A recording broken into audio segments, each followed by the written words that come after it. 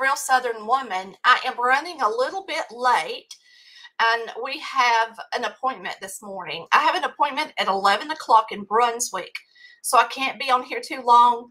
Um, and I just took my shower and got ready.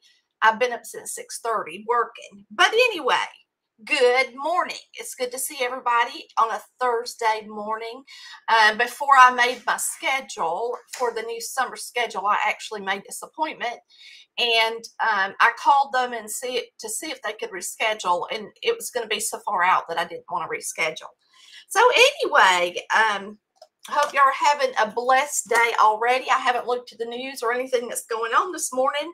I've just been getting dressed. So um, I just want to say hello. Um, I have really not studied my Bible study this morning because I have been really busy uh, getting dressed. So we're going to read it together today.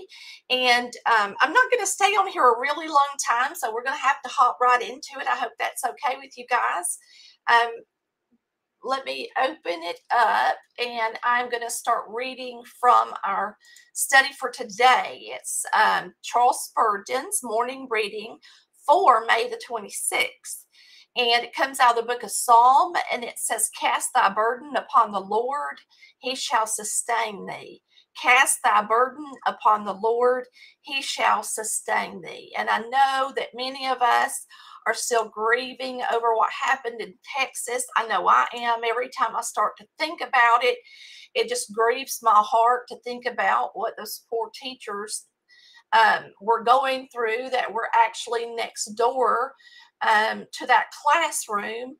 Um, and the kids that were in their classrooms, I mean, the whole thing is just crazy, horrible. Um, something that you would never want to think about. And I just pray that God somehow um, touches these people to help them get through what they're facing and the memories and the flashbacks and the dreams. I just can't imagine what they're going to be like. So, um, if you are burdened about that, hopefully this will help you today. It says care, even though exercised upon legitimate options. I'm, I'm sorry, objects.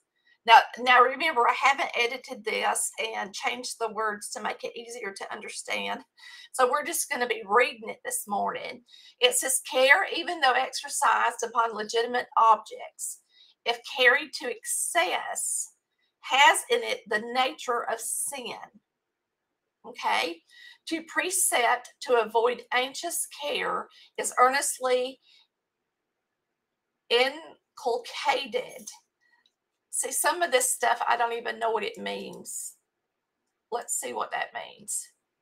Y'all may have a better vocabulary than me. Um, it says, instilled an attitude, idea, or habit by persistent instruction. So it says the precept to avoid anxious care is earnestly um, it's an idea by our Savior again and again. It is reiterated by the apostles, and it is one which cannot be neglected without involving transgression.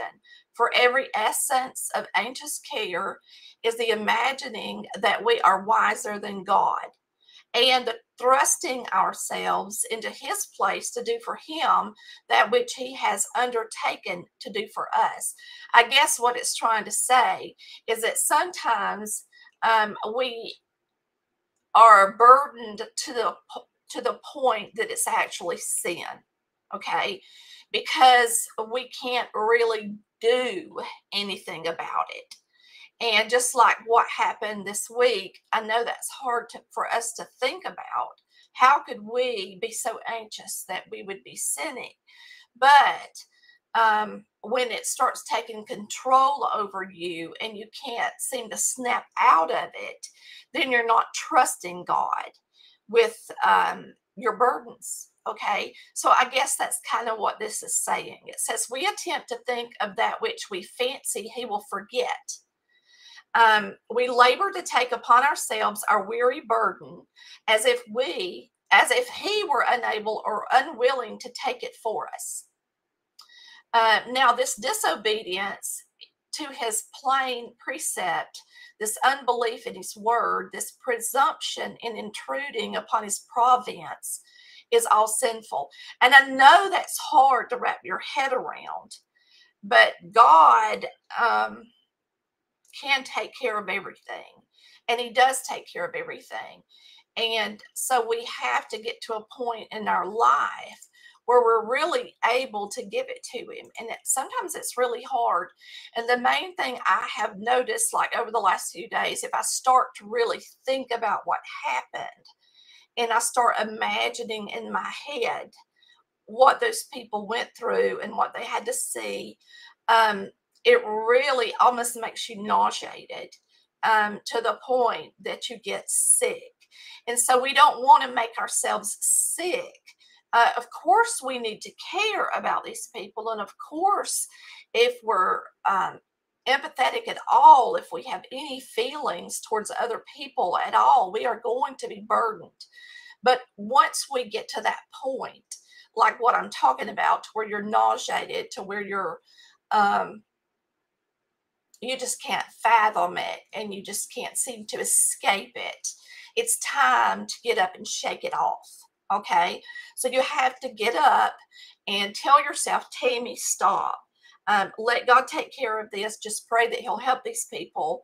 And don't, I guess you would say, um, take it upon yourself like you can really do anything about it because you can't. Okay. Um, it says, he who cannot calmly leave his affairs in God's hand, but will carry his own burden, is very likely to be tempted to use wrong means to help himself. And this, of course, is not just talking about yesterday. This is also talking about problems that we have within our families, with our children, with our parents. Um, and so we have to be very careful because when we try to take the burden and help our kids, it's very unlikely that we could be tempted um, to use the wrong means to try to help them. Um, I notice when I get upset with my kids, lots of times I say things I shouldn't say, and you can't go back and take it back. So you had to be really careful uh, because lots of times, even if you want to help them, they have to help themselves. And the only way they can do that is if God lays it on their heart. And the best thing for us to do is to pray that the Holy Spirit would help them see the light, you know, help them um, grow up and be responsible, etc. And um, understand that being a parent um, is also trusting in the Lord. And this is just my own situation, um, or being a mother, or being a child, or whatever it may be. You also have to trust in the Lord and not think you've got to take everything on yourself to fix a problem. Okay. Um, this lead this sin leads to forsaking of God as our counselor and resorting instead to human wisdom. This is going to be the broken cistern instead of to the fountain, a sin which was laid against Israel of old. Anxiety makes us doubt God's loving kindness, and thus our love to Him grows cold. And I can see that. I could see how that would happen. We feel mistrust and it grieves the Spirit of God so that our prayers become hindered. Our co- consistent example is marred and our life one of self seeking. And you can see where that would come into play because we're selfish people. I mean, we're selfish. We want everything when we want it. We want it fixed. We want it done. And we want to carry our own burdens. And it's wrong to do that. Thus, want of confidence in God leads us to want, wander far from Him. But if through simple faith in His promise, we cast each burden as it comes upon Him and care for nothing because he undertakes to care for us, it will keep us close to him and strengthen us against much temptation. Okay, so I guess what I'm trying to, what he's, this really applies even for what has happened in Texas because if we're not careful, we'll start saying why, what if, why, how in the world, etc., to where we get to the point we don't trust God. And not only do we not trust Him, but we grow further from Him and we get angry. Okay, we get angry. And so we have to be really careful, really careful. And we have to understand that no matter what, um, God will take care of everything because He loves us, because He cares for us. And so we need to make sure that we give this burden to Him. Um, it says, Thou or you will keep him in perfect peace, whose mind is stayed on you because he trusts in you. And this, of course, is someone talking to God. So God will keep you in perfect peace if you keep his if you keep your mind on him and trust in him. Okay. And so um that is our Bible study for today. I hope you um can gain something from it. I hope it helps you no matter what the burden is in your life right now. And I'm sure that many of us have burdens um, that we learn to cast them upon the Lord. And not only cast them and say we're going to, but actually do it. Trust Him. Trust Him with everything. And uh, let's not fall into this pattern that He's talking about where we try to take control and take care of our own burdens to the point where we make mistakes and make the wrong decisions and get ahead of God. And therefore, um, look back on it months from now and wish we would have trusted our Lord and Savior more. Okay. And that's pretty much it. Um, we that was a very quick Bible study. Um, and we are headed to the doctor's office. We got to drive an hour to get there, and Chris is actually home today because the weather's not all that great for fishing, and he had all that dental work done again yesterday. Bless his heart. He had caps put in the day before yesterday, and yesterday he had like three fillings fixed. And when they were putting a mold in his mouth, uh, one of his old caps came off. When he got home, he said, I feel like I've been through the ringer. And I said, Well, I bet you do. Um, but I just um, want you to know I love you. And I'm sorry I'm cutting you so short today. Maybe I'll make it up for you uh, over the weekend. And um, I'm going to make me a cup of coffee and we're going to head out of here. We need to be there on and and leave so we have plenty of time to get there. So i just thank you so much for watching real southern woman. I hope you really take this um, lesson um, and and put it to uh, work in your life today so that we can escape these these feelings of anxiety we're having from what happened this week. I know that all of us are going through it. And I, for one, can say I definitely am. Um, and so we really need to trust God. So we're going to go to the Lord in prayer and um, let's go together in prayer. Dear Heavenly Father, we just thank you for today. Um, we thank you for this Thursday. We thank you for every day you give us here on the earth, Lord.